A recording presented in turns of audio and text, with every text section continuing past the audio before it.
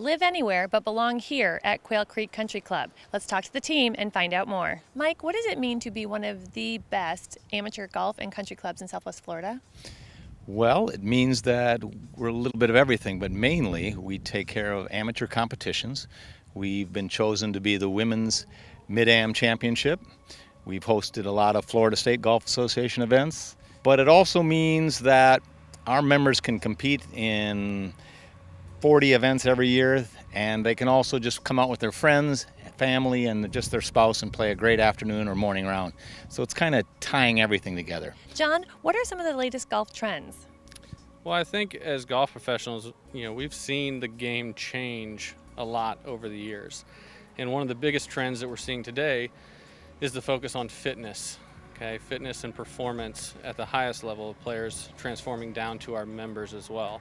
So that's why we feel as though our programs and offerings here at Quail Creek Country Club are designed to extend the amount of time our players and all amateur players can spend on the golf course in the years to come. Nick, how would one join this club? Yeah, well, first off, uh, Quail Creek is fairly unique uh, in that we are a small community from a residential standpoint. Uh, and with that, over two thirds of our membership actually lives outside of our gates. So you can live anywhere in the community, and certainly if someone already owns a home in the community, they don't have to move to join the club.